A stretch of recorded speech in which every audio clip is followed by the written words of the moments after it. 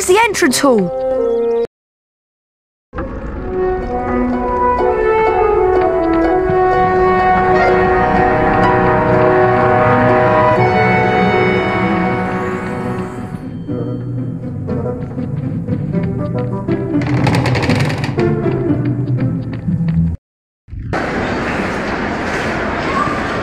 Attention, please. Students, attention. The headmaster wants to address you.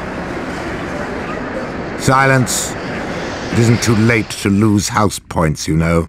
This House Cup ceremony brings the school year to an end, and an eventful year it was.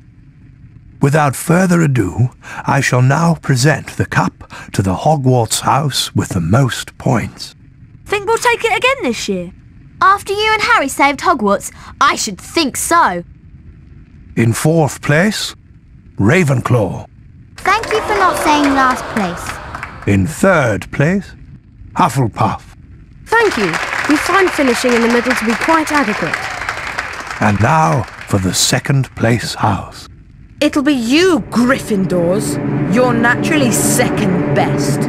You won't steal the house cup from Slytherin like you did last year.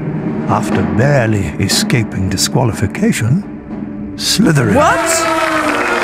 That means... First place, and the house cup goes to Gryffindor. Yes! We did it again!